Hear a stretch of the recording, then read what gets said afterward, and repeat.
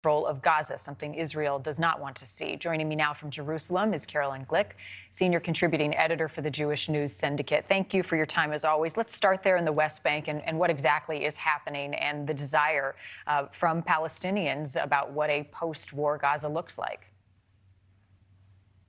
So um, we are facing a situation in uh, in the West Bank where we have an American trained army uh, from the Palestinian Authority with American arms, American uh, munitions, and um, they are capable of causing devastating harm uh, on Israel. And what uh, unfortunately we've seen is that the levels of support among the Palestinians in these areas for Hamas is even higher than it is in Gaza.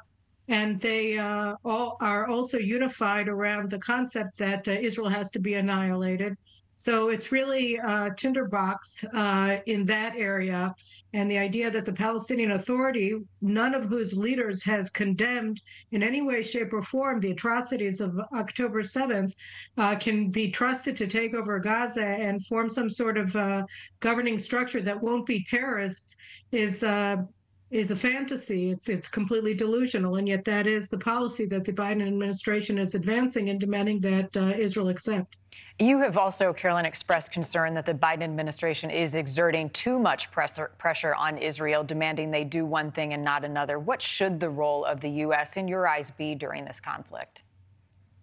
Look, I mean, when the United States was accused in the wars of Iraq and Afghanistan, that let's remember were thousands and thousands of miles from home, of uh, over of overdoing it, of causing civilian casualties. You know, Israel, like every like-minded allied countries stood by the United States and acknowledged the basic fact that when terrorists use civilians as human shields in the war zone, that civilian casualties are the fault of the terrorists against whom the United States at the time and Israel today is fighting a just and lawful war. And we would expect the same uh, consideration from the United States. I mean, the the the uh, spokesperson, the spokesman for the National Security Council, James Kirby, said just yesterday that Israel is doing more to protect civilians in Gaza than the United States ever did. So, given that they acknowledge this fact, we would expect them to respect uh, our our uh, operational uh, model and recognize that, uh, of course, we're operating in accordance with the laws of war. We always do. We never have done anything other than that, and uh, treat us with the respect that that we we should uh, that we should expect.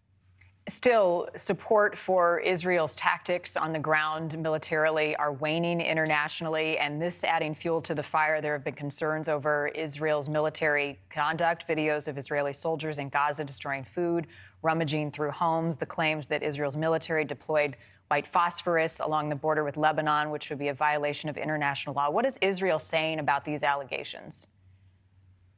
I mean, look, the, the white phosphorus that Israel deployed was done in accordance with the laws of war, and the United States acknowledged that as well. I mean, you know, they take anything that we do and they say it's illegal because, from the perspective of Israel's enemies in the UN and other places, we're not. It's illegal for us to defend ourselves. So if it's illegal for us to defend ourselves because they they say that Israel doesn't have a right to exist, then any tactic that Israel takes, they're going to say is a war crime. But we know that that's not true, and you know, the problem is that we end up having to dispel the allegations against us on each and every of, uh, one of the occasions, and we always do. But it takes a lot less time to spread a lie and a slander than it does to dispel it. You know, we have an, we have an expression in Hebrew that says, "Go prove that you don't have a sister," and that's basically what we're we're being uh, called upon to do um, multiple times a day. And uh, what we really need to do is prosecute this war so that we can annihilate this uh, jihadist organization that, as the MEMRI study showed, uh, is completely unified around the idea that not only do they want to annihilate Israel, but they want to annihilate Jewish people all over the world. And as part of the global jihad, uh, they want to destroy the United States and uh, rule the world in the name of their uh, version of uh, jihadist Islam. Is it wrong, though, Caroline, to hold Israel to a higher moral standard that they can't stoop to the level that the terrorists have in some of the conduct that's being alleged, even flooding some of the tunnels with seawater to try to flesh out Hamas? Again, that's legal. Um, but again, um, it's not that they're holding Israel to a uh, higher standard than you would hold a Hamas Nazis too. Um, it said Israel is being held to an imaginary standard that no other nation on the face of the planet is held to. It's a model of perfection that no human being, no mere moral can possibly ever aspire to or achieve. And when Israel doesn't achieve uh, that lofty uh, that lofty standard, then we're accused of breaking the rules of law of war. But none of this is true. It's all imaginary. No country, not the United States, not Britain, not uh, not Venezuela. Nobody is held to the standards that Israel is being held to. This has been an enduring uh, d- discriminatory move by the UN and by European states and by the Arab states against Israel now going on 50 years. And it's always the same thing. They make up new rules and they only apply to Jews. And when we can't abide by them because nobody can, then we're accused of being war criminals. It's all it's all a lie. And then, you know, they say that we're breaking international law or something like that.